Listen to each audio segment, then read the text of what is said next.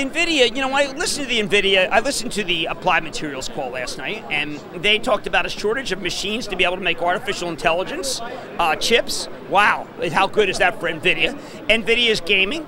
Uh, and, and their gaming business is, is incredibly strong.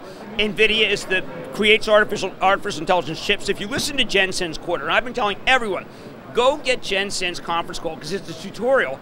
He will tell you how artificial intelligence is going to eat software. And he has the artificial intelligence suite. You have to use it. How do you know that there's, okay, so let's, let's get the Nintendo Switch, this new Nintendo hot product that, by the way, drove Target's numbers up in electronics. That's powered by NVIDIA. NVIDIA's chips have more power than anybody else's. Does, uh, does Intel want to catch them? Hence why they did Mobileye.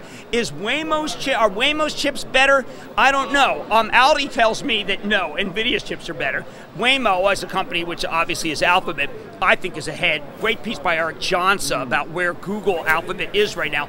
But I want to emphasize to people that Nvidia is one of the most expensive stocks I follow, but it is the ultimate momentum stock in this market now, even exceeding anything in FANG.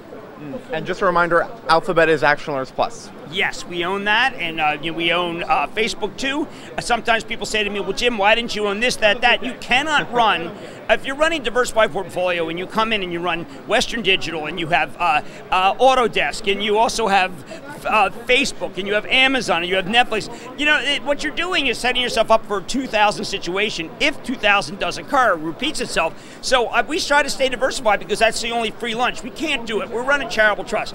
If you want to be a gunner and you want to buy options and all those those, hey, God bless you. I think that that's fine. But we can't do it that way as much as tempting as it is.